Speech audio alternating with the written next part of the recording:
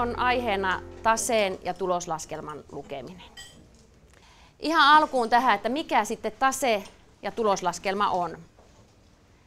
Mun näkökanta on nyt tässä se, että, että mä ajattelen sellaista pientä yrittäjää, joko pientä osakeyhtiöä tai pientä toiminimeä, kun mä tässä puhun. Ja tota, useimmiten tämä koetaan taloushallinto ja markkinointi niin pienellä yrittäjällä, niin ne on ne ehkä kaikkein semmoiset vaativimmat haasteet. Varsinkin jos on lähtenyt yritystoimintaa pyörittämään siitä omasta ammatistaan näkövinkkelistä lähtien, niin saattaa olla, että tässä on semmoisia pieniä, pieniä vajeita, mutta ei mitään hätää. Mä lupaan, että tämän 45 minuutin aikana, mikä meillä tässä on, niin teille tulee toi tase ja tuloslaskelma sillä lailla tutuksi, että ihan uskallatte lukea niitä teidän omia taseita ja tuloslaskelmia, joita tilitoimistosta saatte. Tase ja tuloslaskelma, niin taseessa on yrityksen omaisuus ja velat. Ja se seuraa yritystä heti alkuvaiheista yrityksen elinkaaren loppuun asti. Eli tase on sillä lailla, sillä lailla pysyvä. Toki luvut muuttuu, mutta taseessa koko ajan näkyy se yrityksen omaisuuksien ja velkojen määrä. Sieltä me tänään katsotaan, että opitte katsomaan heti ihan yhdellä silmäyksellä, että onko se yritys vakavarainen, kun te katsotte tasetta, että onko vakavarainen, onko sillä maksuvalmiutta. Ja sitten me katsotaan semmoinen asia, että miten sitä nettovarallisuutta lasketaan, eli nythän varmaan verotus aina kiinnostaa pientä yrittäjää, että tota, minkälainen, minkälainen on se verotus, niin nettovarallisuushan katsotaan tuolta taseesta, niin se vaikuttaa siihen verotukseen. No tuloslaskelma sitten kertoo yrityksen tulot ja menot sen yhden tilikauden aikana. Eli tuloslaskelma elää sen yhden tilikauden ajan ja kuolee pois ja jatkaa elämäänsä. Onko se sitten näyttänyt sen yhden tilikauden aikana voittoa tai tappio, niin se voitto ja tappio siirtyy sinne taseeseen, eli jatkaa siellä sitten elämäänsä. Tuloslaskelmassa ne tiedot useimmiten niitä tarkistellaan kuukausitasolla ja tietysti vuoden alusta, eli tuloslaskelma on siihen operatiiviseen, siihen jokapäiväiseen johtamiseen liittyvä raportti. Eli suosittelen lämpimästi, että jos ette tätä ennen ole uskaltanut lukea omaa tuloslaskelmaa tai ehkä ymmärtänyt sitä, niin tämän päivän jälkeen niin rupe, ruvetkaa katsomaan sitä, että miten se on siihen edelliseen vuoteen verrattuna vaikka mennyt se taloudellinen puoli teille. No niin. Nyt sitten, tuosta ei varmaan paljon saa selvää, mutta teidän pöydillänne on jaettu nyt tämä esimerkki. Ja tämä esimerkki on tosiaan, siellä lukee tämmöinen kuin alumiinipojat, eli tämä ihan tämmöinen fiktiivinen yritys. Tällä ei ole mitään tekemistä oikean elämän kanssa, eli ei ole, ei ole kenenkään yrityksen, oikean yrityksen tase. Ja tämä on tämmöinen meidän keksimä harjoitus, mitä me täällä oppilaiden kanssa tehdään ja tota, harjoitellaan kirjanpitoa. Ja tämä, nämä alumiinipojat tekevät alumiinituotteita. No niin, nyt kun me katsellaan sitä, niin tämän näköinen se tase kutakuinkin teillä itsellännekin on. Riippuen siitä, onko teillä osakeyhtiö tai henkilöyhtiö, niin oman pääomaan erä on varmasti vähän erinäköinen. Mutta se, mitä sieltä löytyy, niin sieltä pitäisi löytyä nyt sellaiset sanat kuin vastaavaa ja vastattavaa. Ja vastaavaa kertoo nyt mun rahojen ja omaisuuden määrän. Se on se puoli. Eli taseessa on kaksi puolta. Ja se vastattava on sitten velat, eli mistä minä olen vastuussa, mistä minun pitää vielä vastata. Nämä on ne kaksi tärkeää sanaa. Sen jälkeen, kun me on löydetty ne sanat, niin sitten me löydetään vähän muutakin, eli sieltä löytyy tämmöiset sanat kuin pysyvät vastaavat ja vaihtuvat vastaavat. Nämä sanat on vähän hassuja, mutta tota, meille taloushallinnon ihmisille hyvinkin tuttuja. Että jos teidän kirjanpitäjä puhuu näillä sanoilla, niin, niin, niin se voi joskus tuntua, että mitä, mistä se puhuu. No pysyvät vastaavat kertoo just, että ne on pysyviä, eikö niin? Eli sen ryhmän alla teidän siinä omassa taseessakin sitten niin on ne, mitkä on tarkoitettu sellaista, jotka on sellaista omaisuutta, jotka hyödyntää teidän liiketoimintaa niin kuin usean vuoden ajan. Eli voi ajatella, että siellä on joku kone tai auto tai joku sellainen, mitä te tarvitte jatkuvasti siinä liiketoiminnassa. Se on pysyvää, eikö niin? Tai sitten olette ostanut jonkun liiketilan, missä te harjoitatte sitä yritystoimintaa, niin se on pysyvää, eikö niin? Ette te myy sitä eh, heti tilikauden päättyessä tai ei ole tarkoituskaan välttämättä ikinä myydä. Mutta tota, niin, se on siis pysyvää. Sitten on ne vaihtuvat, niin se sana vaihtuvat jo kuvaa sitä, että ne vaihtuu, eikö niin? Eli siellä on sellaiset erät, jotka tuottaa tulosta yleensä se yhden tilikauden aikana, eli ne, ne summat nimenomaan vaihtelee. Ja ihan siinä vaihtuvien vastaavien alapäässä lukee semmoinen kuin rahat ja pankkisaamiset. Ja sieltä löytyy siis se, se, mikä on ihan varmasti totta, eli se luku on se, mitä teillä on rahaa. Se, tämmöisessä pitkässä taseessa se näkyisi niin, että siellä näkyisi kassa ja pankki erikseen. Mutta tällaisessa lyhyessä taseessa siellä on rahat ja pankkisaamiset. Ja tämä tase kootaan sillä lailla, että tässä on siis ollut älykkyyttä silloin, kun joku tämän on suunnitellut, niin tämä lähdetään lukemaan niin, että kun mä katselen taseen vastaavaa puolta, niin siellä alimmaisena on se, joka on nopeiten muutettava, muutettavissa rahaksi, eikö niin? Eli raha on heti rahaa. Sitten kun me lähdetään katsomaan, sieltä löytyy tämmöiset kuin lyhytaikaiset saamiset, myyntisaamiset, siirtosaamiset, niin jokainen tietää, että okei, jos mä olen myynyt jotakin laskulla, niin totta kai mä odotan, että mä saan sen rahan, eikö niin? Että joku kaunis päivä tämä asiakas se maksaa, eli se on sinänsä, joo, mä voisin ajatella, että kyllä mä tossa, tässä esimerkissäkin tuon 31 000 saan joku päivä ja mielellään ehkä kuukauden sisässä. Mutta se, ei ole, se on jo vähän epävarmempi, eikö niin? Ja sitten kun me mennään sinne vaihtoomaisuuteen, eli aineet, tarvikkeet tarkoitetaan varastoa, sitä myytäväksi tarkoitettuja tuotteita, jotka ei ole vielä myyty, niin siellä kun esimerkiksi tässä esimerkissä on 12 500 euroa, niin olenko mä varma, että varmasti niiden varastossa olevien tavaroiden arvo on se. Eli nyt te ymmärrätte, mitä se epävarmuus niin kuin tarkoittaa. No sitten on se vastattava, ja vastattava puoli jakautuu omaan pääomaan ja vieraaseen pääomaan. Ja jokaisen oma pääoma, joku voi kysyä tietysti, että no minkä takia se on siellä velkojen puolella, kun sä sanoit, että vastattavaa on velat.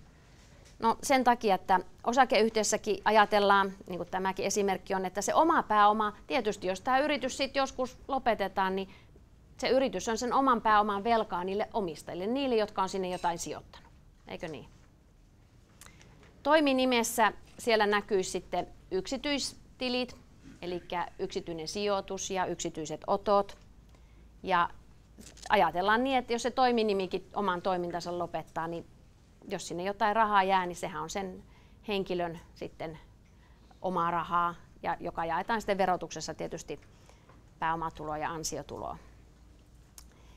Eli omaa pääomaa. Ja tätä omaa pääomaa ei saisi tietysti koskaan osakeyhtiössäkään niin sanotusti syödä, eli kuluttaa. Eli se osakepääoma, mikä tässä esimerkissäkin näkyy, tuo 8500 euroa, niin se pitäisi siellä olla koko tämän liiketoiminnan ajan koskemattomana.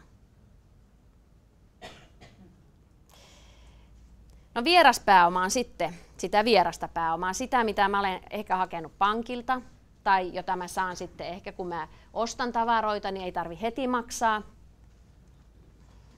Eli ostovelkaa. Tai sitten saattaa olla, että mulla on arvonlisäverovelkaa, koska sitä ei tarvi heti maksaa. Tai jotain muuta semmoista velkaa. Mutta tämä vieras pääoma sitten jaetaan taas pitkäaikaiseen ja lyhytaikaiseen. Ja siinä pitkäaikaisten, pitkäaikaisessa vieraassa pääomassa saa olla vain sellaiset velat, jotka eivät eräänny seuraavana tilikautena. Eli kun mä luen tätäkin paperia ja täällä lukee lainat rahoituslaitoksilta 120 000 euroa, niin kun mä luen tätä, niin mä tiedän, että okei, näistä mun ei tarvitse olla huolissani siinä tulevana tilikautena, että, että jos mä tätä arvioin tämän yrityksen tilaa, niin se ei niitä joudu maksamaan. Mutta tämä lyhytaikainen on se, mitä, mitä mä seuraan ja katson, että ahaa, sielläpä näyttää olevan tuommoisia summia ja jos siellä vaikka ostovelat nyt 12 972,81, niin mä tiedän, että ehkäpä niissä on alle kuukausmaksuaikaa.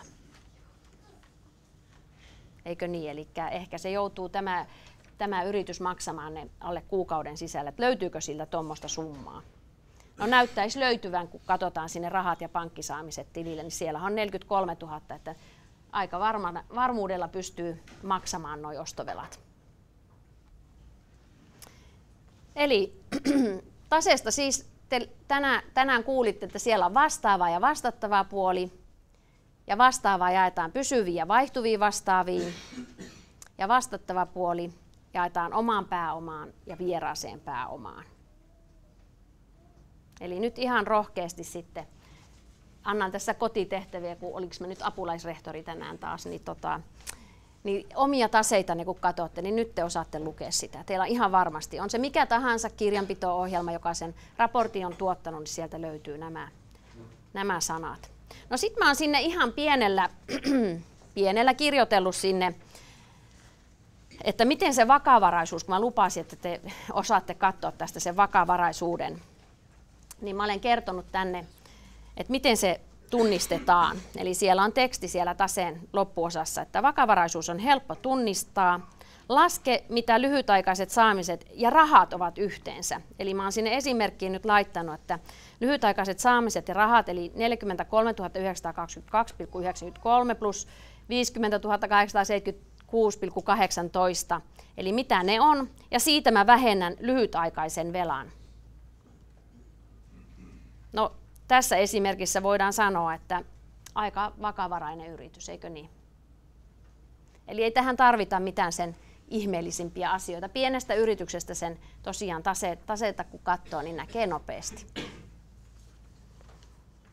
No sitten mä lupasin, että, että te saatte myös sen, että mitä se, mitä se nettovarallisuus tarkoittaa, eli mitä käytetään siinä verotuksessa toiminimessä, kun katsotaan, että kun jaetaan pääoma- ja ansiotulo suhteessa sitä verotettavaa tuloa ja osakeyhtiössä tietysti, miten se osakkeen matemaattinen arvo saadaan, niin siihen tarvitaan nettovarallisuutta. Ja siellä mä olen kertonut, että siellä lasketaan tämä vastaavaa puolen, mitä vastaavaa on yhteensä, eli varat, ja siitä vähennetään sitten velat. Ja tämän nettovarallisuudeksi tässä esimerkiksi on saatu 18 866,29. Sitten mä olen laittanut sinne, kun tätä multa viimeksi, kun mä pidin tätä tilaisuutta, niin eräs toiminimeen elinkeinoharjoittaja toiminimi kysyi multa, että miten se varasto mulla vaikuttaa siihen verotukseen, niin, niin tota, no totta kai se vaikuttaa, eli, eli sehän kohottaa sitä omaisuuden määrää että jos mulla on varastossa paljon tavaraa, niin totta kai se vaikuttaa siihen verotukseen. Mä silloin vaan, kun se kysymys tuli sillä yhtäkkiä, niin mä mietin, että varasto, miten se vaikuttaa mun verotukseen, mutta siis tätä kautta tietysti. Ja sitten siellä lukee vielä, että henkilöyhtiöissä, eli justiin toiminimessä,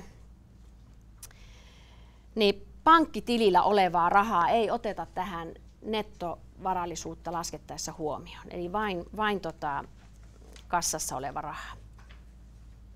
Ja lisäksi sitten siihen nettovarallisuuteen lasketaan 30 prosenttia edeltäneiden tilikausien palkoista, 12 kuukauden palkoista. Eli jos on sellainen henkilöyhtiö, missä maksetaan palkkoja, niin toiminimiyrittäjä ei voi itselleen maksaa palkkaa, mutta tietysti vieraalle voi. Sitten mulla on tuossa esimerkki nyt toiminimen omasta pääomasta sen takia, että, että täällä on paljon varmaan toiminimiä. Näkyyköhän sieltä kaukaa?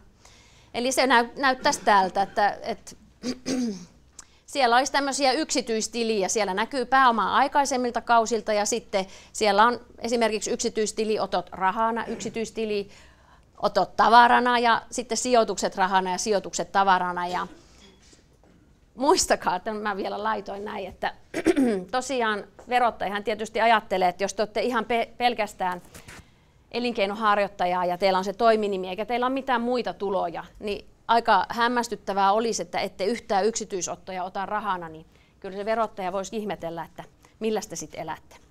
Eli, niin, niin, eli tota, kun joku sitten, että onko ne, niin kuin, eli nyt kun mä äsken sanoin, että osakepääomassa tulee paljon tappioita, niin ne näkyy sitten, että, että vähennetään, tota, niin tämä toiminimi on sitten eri, erilainen.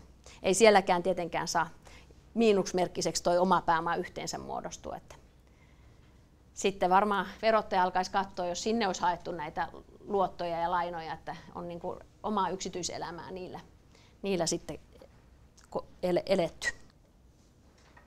Sitten on vielä vähän AY ja KY oma pääoma. Minkälaisia eriä siellä voisi olla. AY ja KY, siis KY on siis vastuualaiset ja äänettömät yhtiömiehet ja sitten AYssähän tietenkin on, voi olla kaksi tasavertaista yhtiökumppania tai kolme, mitä siellä on. Niin niillä jokaisella pitää olla siis oma, oma toi yksityistili ja se näkyy siellä sitten. No sitten, yrityksen tuloslaskelma. Ja se löytyy sieltä paperin toiselta puolelta. Ja nyt kun te käännätte sen paperin toisen puolen, niin sieltä te nyt näette esimerkiksi, kun mä äsken sanoin, että tässä osakeyhtiössä, tässä esimerkki osakeyhtiössä, tämä tilikauden voitto, mikä siellä tuloslaskelmassa on viimeisellä rivillä nyt tässä tapauksessa, tämä 1155, niin se on todellakin siirtynyt sinne taseeseen. Eli tällä lailla se tuloslaskelma jää elämään sinne taseeseen. Kun mä sanoin, että tuloslaskelma tietysti sitten, kun tässäkin on tilikaudet, tässä muuten tullut, tuonne on tarkoittu 2014, siellä on muuten virhe, siinä pitäisi olla 2012 ja 2013, niin tämä 2012 ja 2013 jälkeen, aina kun alkanut uusi tilikausi, niin nämähän, nämä tuloslaskelman tilit on tietenkin ihan nollilla. Eli ei siellä ole mitään edellistä liikevaihtoa, vaan lähdetään alusta, niin se jää elämään täältä tämän tuloslaskelman tulo, osoittaman tuloksen siirtyessä tuonne taseeseen, niin sillä lailla se jää tänne elämään. No mitä tästä pitäisi sitten kattella? Ehkä se liikevaihto on semmoinen, mä oon kirjoittanut sinne sulkeisiin, että se on, liikevaihto on siis se varsinaisen toiminnan myyntitulo. Eli se, mikä, te, mikä teidän toimi, minkä te olette laittanut toimialaksenne, mitä toimintaa te teette, siitä tuleva myyntitulo on liikevaihtoa. Eikö niin? Ja sitten mitä, mikä toinen on, on, niin on tietenkin täällä lukee tämmöinen, että ostot tilikauden aikana, niin sinne mä oon kirjoittanut, että ne tarkoittaa siis niitä myyti, myytäväksi tarkoitettuja tuotteita. Eli taas sama juttu. Ne, ne ostot, joita te tarvitsette, että te voitte tehdä sitä liiketoimintaa, eli myytte, jos te myytte vaikka tavaraa, niin ne tavarat, jotka olette ostanut, jotka myytte sitten edelleen. Tai jossain, äh, no vaikka rakennusliike, niin, niin, niin tota, siellä on tämmöiset kuin ulkopuoliset palvelut, niin esimerkiksi rakennusliike, sen toiminta on siis rakennuspalvelu, eikö niin? Voi olla, että se toki ostaa niitä rakennustarvikkeitakin ja siitä rakentaa, mutta siis rakennuspalvelut, niin voi olla, että joskus käyttää jotain ala, aliurakoitsijaa, niin silloin se on ulkopuolista palvelua. Eli he tulee tekemään sitä jotain tiettyä osaa siitä rakennuksesta ja sitten he tuolta laskuttaa sen lopullisesti siltä omalta asiakkaaltaan.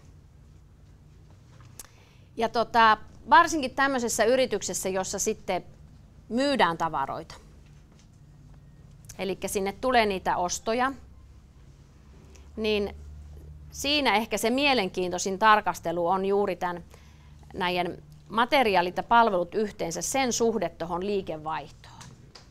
Ja sitä suhdetta sanotaan myyntikatteeksi.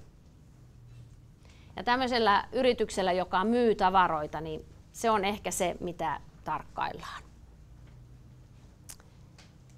Esimerkiksi tässä yrityksessä, mikä tämä alumiinipojat on, niin heidän suurin erähän tässä on palkat, eli he tuottaa palvelua. He tekevät jotain alumiinista ja käy asentamassa sen paikoilleen, eli he tuottaa palvelua.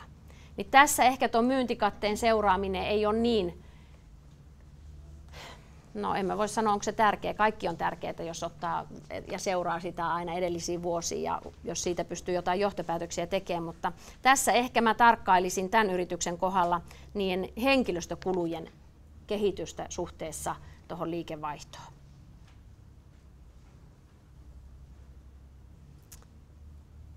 Eli jokainen tuloslaskelma, nyt se teidän oma tuloslaskelmakin sitten, kun tästä taas kotia menette ja otatte se esille, niin ensimmäinen sana siellä ihan varmasti liikevaihto.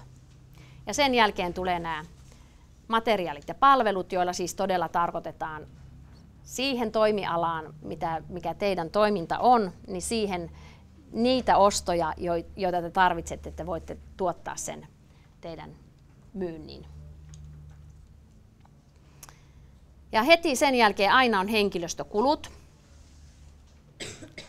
Ja ne jaetaan aina niin, että sieltä näkyy palkat, palkkiot erikseen ja sitten on eläkekulut ja muut henkilösivukulut.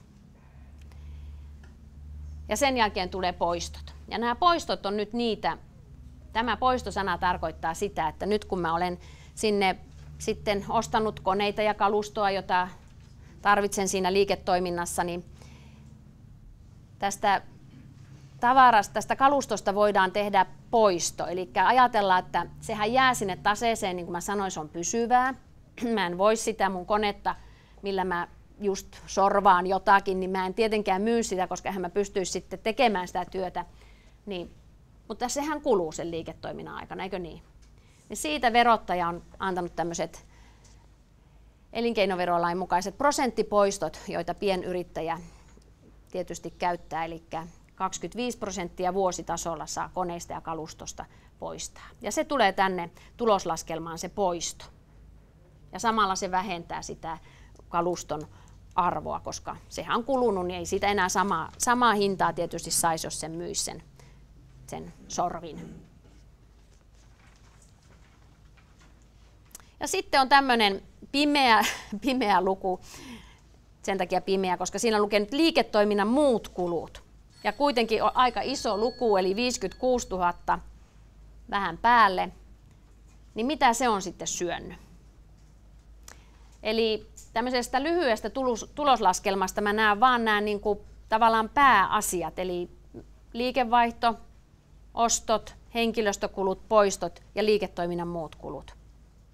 Sitten se pitkä tuloslaskelma, jonka varmasti olette saanut teidän omalta kirjanpitäjältä, niin siellä te voitte sitten vertailla esimerkiksi, jos liiketoiminnan muut kulut on vaikka nyt huimasti kasvanut edelliseen vuoteen verrattuna, niin sieltä te pystytte sitten tarkemmin katsomaan, että no mikä se on. Tämä liiketoiminnan muut kulut, siellähän on sisällä tietysti liiketoiminnan ehkä vuokrat, jos mä oon vuokratiloissa, siellä on sähköt, siellä on tietoliikennekulut, siellä on mainos, markkinointikulut, kirjanpitokulut. Eli siellä on kaikki ne muut liiketoiminnan kulut, jotka ei varsinaisesti vaikuta siihen liikevaihtoon. Kyllähän ehkä sitä liikevaihtoa voisi olla, jos ei mulla olisi sitä tilaa ja mä maksan vuokraa, mutta tota, niin sehän ei siinä sinänsä muutu se tilan vuokra, vaikka mä myisin kuinka paljon. Eli sieltä löytyy sellaiset asiat. Ja, ja tota, tämän jälkeen, kun on liikevaihdosta vähennetty ostot ja henkilöstökulut, poistot ja liiketoiminnan muut kulut, niin sitten me päästään tähän liikevoittoon, tai jos se sitten on tappio, niin sitten se on miinusmerkkinen täällä. Ja tämä voisi olla semmoinen mun mielestä luku, mitä, mitä semmoinen jokainen yrittäjä voisi vähän katso, katsoa, että tota, miten se on edellisenä vuosina ollut. Eli tässähän nähdään nyt heti, että, että se liikevoitto on puolet, enemmän kuin puolet pienempi. Eli se kertoo jo sitten jotakin. Tällähän on mennyt toki, toki on mennyt tota, jäänytkin vähemmän tota voittoa kuin edellisillä kausilla. Eli näistä voidaan niitä prosentteja ja erilaisia rahoitus- tai kannattavuuden lukuja laskea myöskin tästä tuloslaskelmasta.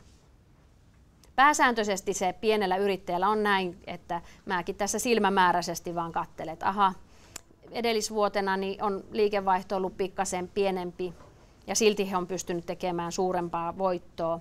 Mikä siellä sitten mättää? Aha, palkat. Eli siellä on ollut vähän enemmän palkoissa, eli siellä, onko siellä ollut enemmän ihmisiä töissä tai sitten palkat on noussut. Eli ihan tällä tasolla voi sitä omaa tuloslaskelmaa katsoa. Sen liikevoiton jälkeen sitten tulee rahoitustuotot ja kulut. Ja ihan viimeisenä sitten tietysti näkyy tilikauden verot. Osakeyhtiöllä ne on tietysti osakeyhtiöveroja. Tässä on vielä vähän tätä, mitä on puhunutkin, niin sanallisessa muodossa ja tuolla vielä toi voitto ja tappio, eli miten se tuolla, miten se tuolla tota, sitten lähtee elämään. Eli tuloslaskelmasta, kun jää se voitto ja tappio, niin sinne oman pääoman erään kaikissa yritysmuodoissa se siirtyy. No niin.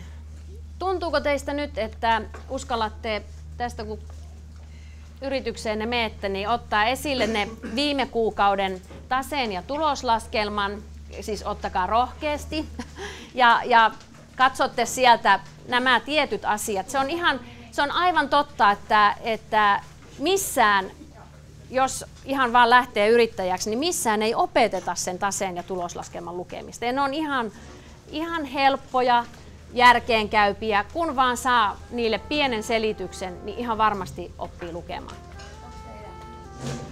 Kiitoksia kaikille.